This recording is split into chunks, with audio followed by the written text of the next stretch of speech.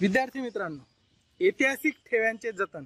या पाठामध्ये आपण मागील घटकामध्ये अभ्यासलं की ऐतिहासिक ठेव्यांमध्ये जे मौखिक स्वरूपाचे असतील लिखित स्वरूपाचे असतील किंवा भौतिक स्वरूपाचे असतील या तिघही इतिहासाच्या साधनातील ठेव्यांचे जतन कशा पद्धतीने करता येतं आणि ते जतन करत असताना कुठली प्रशिक्षण आवश्यक आहे विद्यार्थी मित्रांनो भारतात किंवा जगभरामध्ये ह्या ऐतिहासिक ठेवांचं जतन करण्यासाठी अनेक संग्रहालयांची निर्मिती झालेली आहे. जगभरातील असलेले संग्रहालय किंवा देशभरातील असलेले संग्रहालय यांचा अभ्यास आपण या घटकामध्ये घेणार आहोत.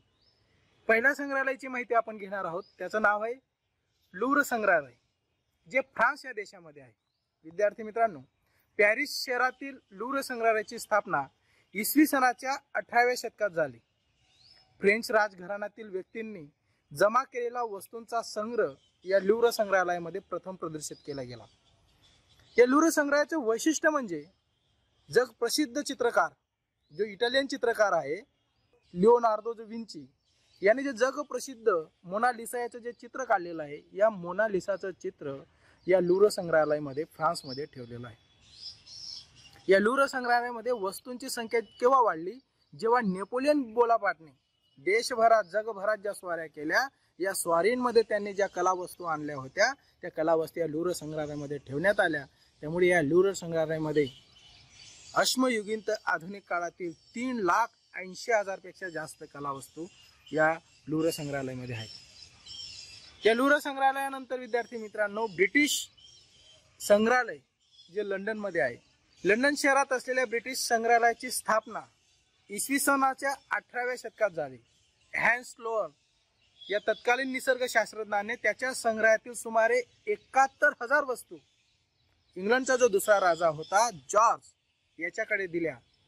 या संग्रहालयामध्ये अनेक ग्रंथ आहेत अनेक प्रकारची चित्र आहे वनस्पतींचे नमुने आहेत आणि अशा पद्धतीचे हे संग्रहालय निर्मिती झाल्यानंतर इंग्रजांची वसाहत देशभराभरामध्ये ज्या ज्या देशामध्ये विस्तारली गेली त्या देशातल्या कलावस्तू प्राचीन अवशेष या सगळ्यांचा समावेश या संग्रहालयामध्ये होत गेला. विद्यार्थी मित्रांनो ह्या इंग्लंडच्या संग्रहालयामध्ये भारतातून गेलेल्या अनेक महत्त्वपूर्ण वस्तू किंवा अनेक पुरातन वस्तूंचा त्यात समावेश आहे. आपल्या सगळ्यांच्या माहितीसाठी सांगतो की छत्रपती शिवाजी महाराजांची जी तलवार आहे ती तलवारसुद्धा ह्या इंग्लंडच्या संग्रहालयामध्ये ठेवण्यात आलेली आहे. आणि आज मी तिला या संग्रहालयात सुमारे ऐंशी लाख इतक्या वस्तू आहेत. विद्यार्थी मित्रांनो पुढचं संग्रहालय आहे national museum of natural history United State of America. अमेरिकेमध्ये असलेलं हे जे संग्रहालय आहे हे नैसर्गिक इतिहासाचं जे संग्रहालय आहे याची सुरुवात अठराशे शेहेचाळीसमध्ये झाली. इथे वनस्पती प्राणी यांचे अवशेष जीवाश्म दगडे मानव प्रजातीचं अश्मीभूत अवशेष आणि पुरातन वस्तू यांच्या बारा कोटीपेक्षा अधिक नमुने या संग्रहालयामध्ये आहेत. विद्यार्थी मित्रांनो फ्रान्स इंग्लंड आणि अमेरिका येथल्या ह्या संग्रहालयांची आपण माहिती घेतली. फ्रान्स अमेरिका आणि इंग्लंड यामध्ये जसे ग्रंथालय संग्रहालय आहेत त्याच पद्धतीने भारतात सुद्धा काही संग्रहालय आहेत. यातलं प्रमुख संग्रहालय आहे एशियाटिक सोसायटी ऑफ बंगाल. या संस्थेने अठराशे चौदा चौदामध्ये भारतीय संग्रहालय नावाचं संग्रहालय कोलकाता या ठिकाणी सुरू केलं. कोलकातामध्ये पहिलं संग्रहालय सुरू झाल्यानंतर अठराशे एकावन्नमध्ये गव्हर्मेंट गव्हर्नमेंट म्युझियम हे चेन्नई येथे दुसरे भारतीय संग्रहालय सुरू झालं. आणि इसवी सन एकोणीसशे एकोणपन्नासमध्ये दिल्लीला राष्ट्रीय संग्रहालयाची स्थापना झाली. अशा पद्धतीने विद्यार्थी मित्रांनो ह्या संग्रहालयाची स्थापना वेगळे संग्रहालय भारतामध्ये सुद्धा स्थापित झाले. कलकत्ता असेल चेन्नई असेल आणि त्यानंतर दिल्लीला असलेलं नॅशनल म्युझियम असेल. अशी संग्रहालय आहेत. या संग्रहालयाची स्वतःचे अभिलेखागारे आहेत ग्रंथालय आहेत. आणि काही जे संग्रहालय आहेत ते विद्यापीठाशी सुद्धा संलग्न आहेत.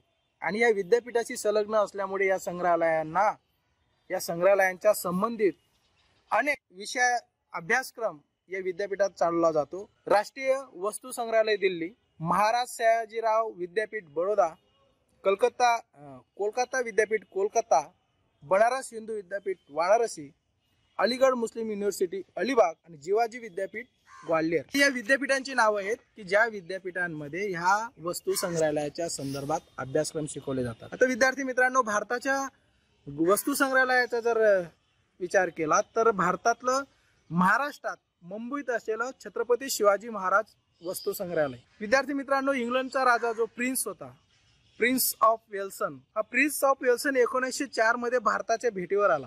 आणि भारताच्या भेटीवर येत असताना मुंबईतील काही प्रतिष्ठित नागरिकांना असं वाटलं की तो भारत भेटीवर येत असताना त्याच्या स्मरणार्थ एक वस्तू संग्रहालय उभं करण्यात यावं आणि म्हणून एकोणीसशे चारमध्ये प्रिन्स ऑफ विल्सन विल्सनच्या भेटीसाठी नोव्हेंबर महिन्यात ग्रंथालयाची पायभरणी झाली. आणि त्या संग्रहालयाचं नाव Prince of Wales museum of western India असं ठेवण्यात आलं.